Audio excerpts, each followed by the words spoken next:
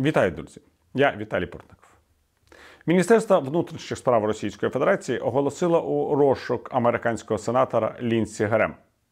Приводом для таких е, дій е, російського силового відомства стали слова, які американський сенатор нібито сказав на зустрічі з президентом України.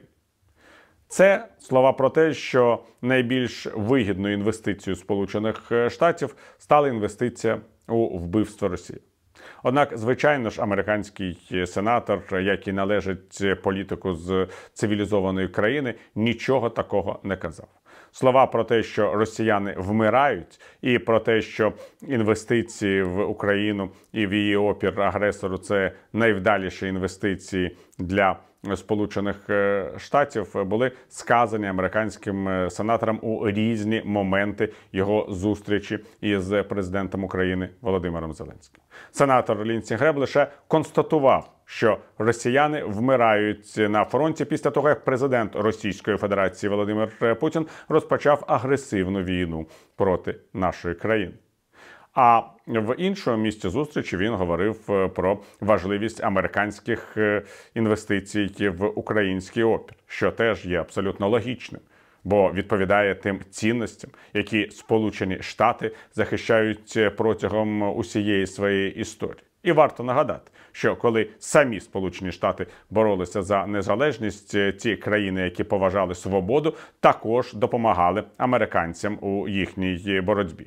Так що всі ці історичні процеси, процеси опору імперії, ми спостерігаємо в історії людства весь час е, його існування з повстання проти Римської імперії, на яких базуються головні постулати тепер вже християнської релігії, і е, до російсько-української війни. Звичайно ж, російські політики і пропагандисти цього взагалі не усвідомлюють, тому що керуються абсолютно іншими цінностями. І використовують історію із сенатором Лінсі Гремом для чергових е, спроб образити американських політиків та я б сказав американську державу і американський народ. Представниця Міністерства закордонних справ Російської Федерації Марія Захарова взагалі договорилася до того, що звинуватила Сполучені Штати у інвестиціях е, в нацистський режим. Нібито не радянський союз на чолі із зловісним Йосипом Сталіном підписав е, із гітлерівською Німеччиною не тільки пакт про ненапад, але й угоду про розділення Європи, на засадах якої Радянський Союз окупував Латвію, Литву, Естонію, розпочав війну е, проти Фінляндії, допоміг Адольфу Гітлеру у його війні проти Польщі. І те, що Радянський Союз і Гітлерівська Німеччина були союзниками на першому етапі Другої світової війни, і те, що радянський союз опинився у іншому таборі, не дякуючи намірам власного політичного керівництва і народу, а тільки тому, що Адольф Гітлер ухвалив рішення про напад е, на радянський союз, бо помилково оцінив рівень його воєнної машини і готовності до опору. Всього цього Марія Захарова здається не помічає не помічає, хто був справжнім інвестором у політичні і воєнні плани Адольфа Гітлера, хто несе безпосередню відповідальність за те, що розпочалася Друга світова війна. А між тим ми розуміємо, це дві країни. Радянський Союз і Гітлерівська Німеччина, Адольф Гітлер та Йосип Сталін, близнюки політик. А сучасна Російська Федерація продовжує йти дорогою обох цих диктаторів. І обожнює політичний досвід кожного. І саме з цих позицій Марія Захарова і намагається звинувачувати американську державу і лінці Грем. Якщо ми з вами звернулися б до архівних е, публікацій нацистської Фільхішер Баобахтер чи більшовицької правди наприкінці 30-х, на початку 40-х років ХХ століття, ми побачили б ту саму риторику, яку сьогодні чуємо або від Марії Захарової або від заступника голови Ради безпеки Російської Федерації Дмитра Медведєва, або від будь-якого іншого російського чиновника. І, чесно кажучи, я не думаю, що цьому потрібно дивуватися. Адже сама сутність російської політики є сутністю агресивної імперської держави, готової заплатити будь-яку ціну за відновлення своєї імперської території. І те, з яким завзяттям Путін, Медведєв, інші російські керівники не тільки розпочали війну проти України, але й планують її продовження на якнаймога довгий термін.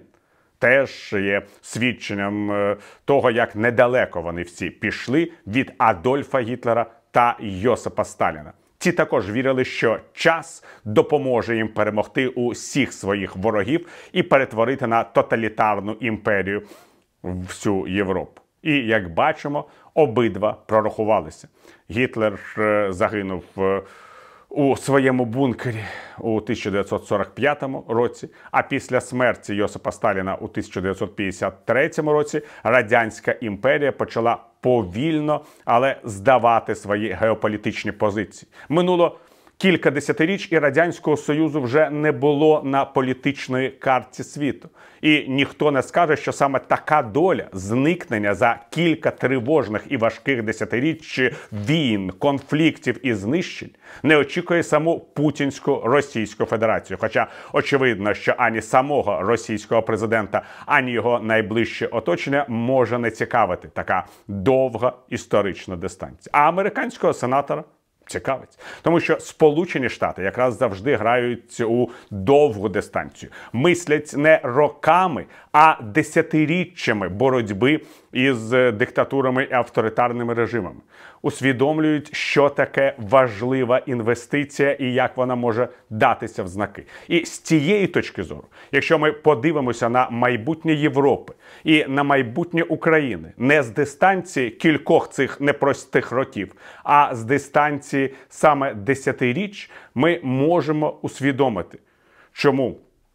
Сполучені Штати зараз е, мають допомагати нашій державі у протистоянні авторитарній імперії, тому що авторитарна імперія не сьогодні, так з часом зникне з політичної мапи світу. А Україна як демократична європейська держава і за десятиріччя буде мати шанс зайняти відповідне місце у сім'ї вільних народів і разом з ними брати участь у протистоянні диктатурам в нашому непростому 20 21 сторіччі, яке я і бачу як період постійного протистояння демократії і диктатур. Це певне те, що і хотів сказати у своїй розмові з президентом України сенатор Лінсі Грем.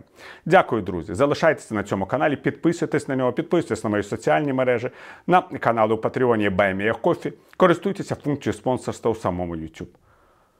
Перемоги і мир вам!